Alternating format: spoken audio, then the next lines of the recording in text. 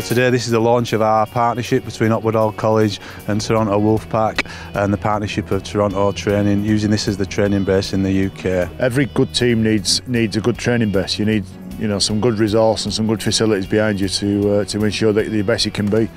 And uh, we're slowly getting better and better at being at, at Hall, which uh, you know, I'm, I'm, sure our preparation and our performances are, uh, are improving with it. Well, there's a real buzz about the campus at the moment. You know, when you just see people like Jon Wilkin and Ashton Sims, real, you know, um, superstars of the game walking around. You, there's a real buzz around training. All lads are excited. You know, and they let us watch them training, they let us come in on the video meetings. Obviously, I was good friends with Brian McDermott when I played with him at Bradford, and. Um, know, it's a really good relationship we've got at the moment. We've had a, lot of players come through the ranks. We had Jack Ashworth, who's playing at St Helens now, and Joe Greenwood at Wigan.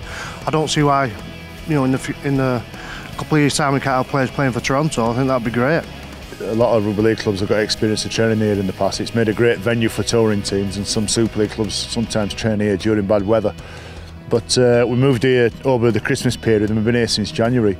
It's fantastic for us. Uh, some Uh, at least two grass fields, uh, a 4G field for us. We've got our own gym, our own offices, our own viewing rooms. So one of the things that the, the lads have brought is like the high, their professional high standards around the college and they've, they've really engaged with all the staff and the students and helping to sort of motivate the students to aspire to great things and to the extent that we had quite a few staff went to the Halifax match uh, and took the family and friends and the players were great after the match they came and had the photographs with them and there's been a real buzz around the college that the the team the team have brought and we moving forward we hope to you know do a few collaborative projects away from sport and we see like loads of opportunities across different curriculum areas not just in sport but in the business side so it's it's enhancing the experience for all Hopwood students across college and not, not just the rugby League Academy, which obviously is the main focus.